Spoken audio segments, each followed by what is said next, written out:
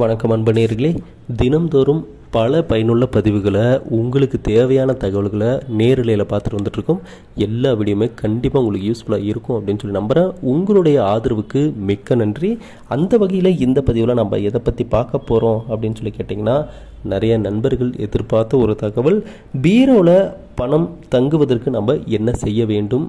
நாம் கஷ்டப்பட்டு சம்பாதிக்கக்கூடிய பணம் தண்ணி மாதிரி செலவாகுது. இதுதான் பலருடைய பிரச்சனையாகவும் இருந்துகிட்ருக்கு பீரோவில் நம்ம சேமித்து வைக்கக்கூடிய பணமும் அப்படி தான் செலவாகிட்டே இருக்குது என்ன செய்தால் நாம் பணம் சேமித்து வைக்கும் இடங்களில் மேலும் பணம் சேரும் பணவரவு கூடும் அப்படின்றத பற்றி தான் இந்த பதிவில் பார்க்க போகிறோம் முழு வீடியோவும் பாருங்கள் ஸ்கிப் பண்ணாமல் பாருங்கள் பார்த்து முடிச்சுட்டு உங்கள் நண்பர்கள் உறவினர்கள் எல்லாத்துக்கும் ஷேர் பண்ணுங்கள் நண்பர்களே பணம் என்ற ஒரு விஷயம் நம்மளுடைய வாழ்க்கையில் மிகப்பெரிய ஒரு பங்கை வகிக்குது அப்படின்னே நம்ம சொல்லலாம். சில சொந்த பந்தங்களும் இந்த பணத்தை வைத்து தான் மதிக்கவும் செய்கிறாங்க வெறுக்கவும் செய்கிறாங்க அப்படி இருக்கக்கூடிய பணத்தை எவ்வாறு இதன் வரவை அதிகரிப்பது பண வரவை எவ்வாறு கூட்டுவது இதுக்கு உண்டான வழிமுறைகள் என்னென்ன அப்படின்றத பற்றி தான் நம்ம ஸ்டெப் பை ஸ்டெப்பாக பார்த்துட்டு வந்துட்டுருக்கோம் அதற்கு முன்னாடி ஒரு விஷயம் என்ன அப்படின்னு சொல்லி பார்த்தீங்கன்னா மனிதனுக்கு வாழ்க்கையில் பணம் தான் எல்லாம் அப்படின்னு சொல்லி என்றைக்குமே முடிவு பண்ணிடக்கூடாது.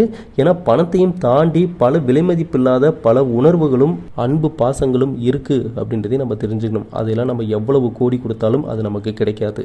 இருந்த போதிலும் இந்த பணம் நம்மளுடைய வாழ்க்கையில் போதிய அளவு இருந்துட்டாவே ஒரு மனிதனுடைய வாழ்க்கையில் எழுபத்தைந்து சதவீத பிரச்சனைகளை தீர்த்து விடலாம் அப்படின்னு சொல்லலாம். அந்த அளவுக்கு பணம் நமக்கு இன்றியமையாத இருந்துட்டு அப்படின்னே சொல்லலாம். அப்படி இருக்கக்கூடிய அந்த பணத்தினுடைய சில வழிபாட்டு முறைகளை செய்யும் பொழுது நம்ம எந்த அளவுக்கு பணம் அதிகரிக்கும் அப்படின்றத பற்றி தான் நம்ம ஒவ்வொரு பதிலும் பார்த்துட்டு வந்துட்டு இருக்கோம் இப்போ நம்ம என்ன செய்யணும் அப்படின்றத பற்றி இப்போ ஒவ்வொன்றா நம்ம பார்ப்போம். முதல்ல நம்ம வீட்டில் இருக்கக்கூடிய பீரோவை குபேர மூலையில் தான் நம்ம வைக்க வேண்டும் அப்படின்றத முதல்ல நம்ம தெரிஞ்சுக்கணும். இதில் வாடகை வீட்டில் இருக்கிறவங்களுக்கு சில பேர்த்துக்கு இந்த குபேர மூலை கிடைப்பதில் சிரமமாக இருக்கும். அப்படி இருக்கும் பட்சத்தில் நீங்கள் அந்த வெயிட்டான பொருட்கள் பொருட்கள் ஏதாவது வெயிட்டான பொருட்களை நீங்கள் அந்த மூலையில் அதாவது அரிசி மூட்டையோ அல்லது டேபிள் இது போன்ற ஏதாவது ஒன்றை நீங்கள் வைக்கலாம். ஏன்னா வாடகை வீட்டில் இருக்கும் பட்சத்தில் குபேர மூலையில் பீரோ வைக்க முடியாத இடமா கூட இருக்கலாம். அப்படி இருக்கும் பட்சத்தில் நம்ம இப்படி யூஸ் பண்ணிக்கலாம்.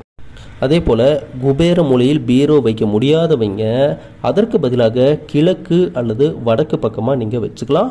அதே போல் தெற்கு மற்றும் மேற்கு பக்கமாக பீரோவை எக்காரணத்தை கொண்டும் வைக்கக்கூடாது அப்படின்றதையும் நம்ம தெளிவாக தெரிஞ்சுக்கணும். பீரோவிற்கு மேல் பகுதியில் அதாவது அதாவது பீரோவுக்கு மேலே தவறி கூட எந்த ஒரு பொருளையும் வைக்கக்கூடாது அப்படின்றதையும் தெரிஞ்சுக்கோங்க. ஏன்னா பீரோ லாக்கரில் தான் லட்சுமி தாயார் குடியிருப்பாங்க. பீரோ மேலே நீங்கள் எவ்வளோ வெயிட்டை வைக்கிறீங்களோ அந்தளவுக்கு லாக்கரும் இறங்கும் அப்படின்னு சொல்லலாம். அதாவது பணவரவு குறையும் அப்படின்னு நம்ம தெரிஞ்சுக்கணும். அதே போல் பீரோவுக்குள்ளே கத்தி ஊசி நூல்கண்டு கத்திரிக்கோல் இது போன்ற எந்த ஒரு பொருளையும் வைக்கக்கூடாது அப்படின்னு நல்லா தெரிஞ்சுக்கோங்க. அது புதிய பொருளாக இருந்தாலும் சரி பழைய பொருளாக இருந்தாலும் சரி அதை நம்ம பீரோவில் வைக்கக்கூடாது. அதே போல் நம்ம கவனிக்க வேண்டிய சில விஷயங்களும் இருக்குது அது என்னென்னு பார்த்தீங்கன்னா இப்போது ஒரு ஃபங்க்ஷனுக்கு போயிட்டு வந்துட்டு பட்டு புடவைகளை நம்ம டிரைவாஸ்க்கு கொடுத்துட்டு அதை வாங்கிட்டு வந்து அப்படியே நம்மளுடைய பீரோக்குள்ளே வைத்து விடக்கூடாது அப்படின்றதையும் தெரிஞ்சுக்கோங்க. இதனைத் தொடர்ந்து பீரோவை எப்போதுமே நம்ம வாசமாக வைத்திருக்க வேண்டும். ஜவ்வாது பச்சை கற்பூரம் அக்தர் இது போன்ற பொருட்களை நம்ம பீரோவில் லாக்கர் பகுதியில வைக்கலாம். அதனால் பீரோ எப்பொழுதுமே மனமாக இருக்கும். இதை நீங்கள் ஃபாலோ பண்ணும்போது நிச்சயமாக நல்ல ஒரு மாற்றம் கிடைக்கும். அதே போல் பீரோவில் வைக்கக்கூடிய துணிமணிகள் இது எல்லாமே கிளஞ்சு போய் வைக்கக்கூடாது. மூட்டை மூட்டையாக சுருட்டி வைக்கக்கூடாது அப்படின்றத நல்லா தெரிஞ்சுக்கோங்க. நீட்டாக மடித்து க்ளீனாக வச்சுருக்கணும். அதிகளவு உள்ள குப்பைகள் சேர விடக்கூடாது. அடிக்கடி க்ளீன் பண்ணிக்கிட்டே இருக்கணும் அப்படின்றதையும் தெரிஞ்சுக்கோங்க. எந்த அளவுக்கு பீரோவை நீங்கள் சுத்தபத்தமாக க்ளீனாக மனமாக வச்சுக்கிறீங்களோ அந்த அளவுக்கு பீரோ லாக்கரில் இருக்கக்கூடிய பணவரவு அதிகரிக்கும் அப்படின்றதையும் நல்லா தெரிஞ்சுக்கோங்க.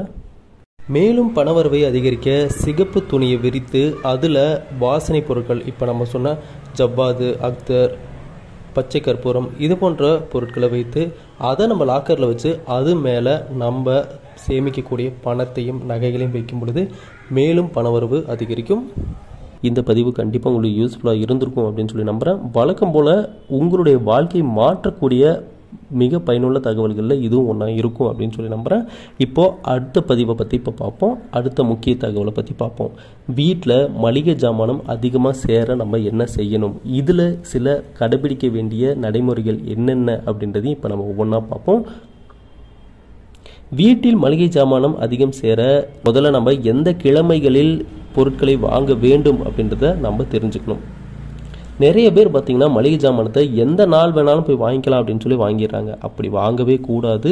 மளிகை ஜாமானத்தை வீட்டில் நம்ம வெள்ளிக்கிழமைகளில் தான் வாங்கி நிரப்ப வேண்டும் அப்படின்றதையும் நம்ம நல்லா தெரிஞ்சுக்கணும்.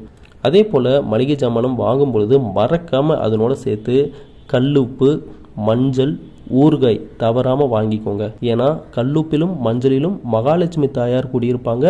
ஊறுகாய் வந்து பார்த்திங்கன்னா லட்சுமி குபேரனுக்கு மிகவும் பிடித்த ஒரு பொருள். எனவே இது மூன்றையுமே தவறாமல் நீங்கள் மளிகை ஜாமானம் வாங்கும்போது வாங்கி மளிகை ஜாமானம் வைக்கக்கூடிய அந்த இடத்திலேயே இதையும் நீங்கள் வச்சிட்டிங்கன்னா வீட்டில் என்றைக்குமே மளிகை ஜாமானம் குறையாது அதிகமாக சேர்ந்துக்கிட்டே தான் இருக்கும். ஒரு பாசிட்டிவ் எனர்ஜி அந்த இடத்துல உருவாகும் அப்படின்றதையும் நம்ம தெரிஞ்சுக்கணும். அதே போல் வீட்டில் எப்போதுமே கல்லுப்பும் மஞ்சளும் குறையாமல் பார்த்துக்கணும் அப்படின்றதையும் நினைவில் வச்சுக்கோங்க. நம்ம வாழ்க்கையில் இது போன்ற சில வழிமுறைகளை தவறாமல் கடைபிடிச்சோம்னா நல்ல ஒரு மாற்றத்தை காணலாம் நண்பர்களே.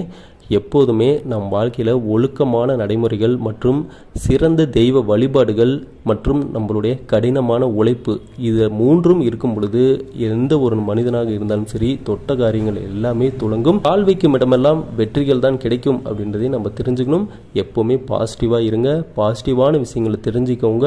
பாசிட்டிவான நபர்களோட பழகுங்க. அப்போ தான் உங்களுடைய எண்ணங்கள் சிறந்து விளங்கும் உங்களுடைய செயல்கள் வெற்றியடையும்.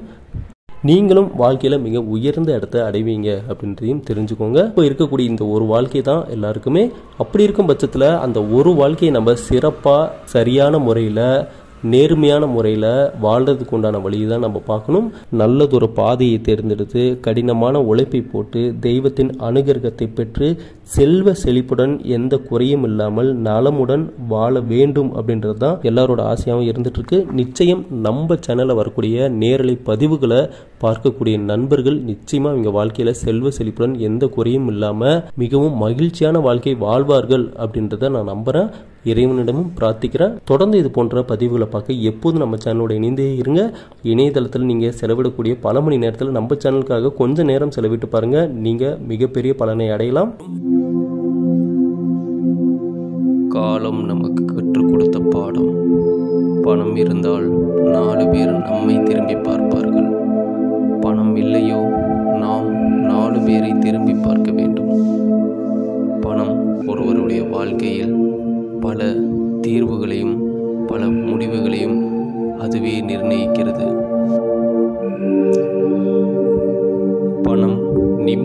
தராது என்று எந்த ஏழையும் சொன்னதில்லை. நிம்மதி தராத அந்த பணத்தை இழக்க எந்த பணக்காரனும் தயாராக இல்லை. பணமின்றி மனிதனாய் வாழ முடிகிறது. ஆனால் மனிதர்களுடன் தான் வாழ முடியவில்லை.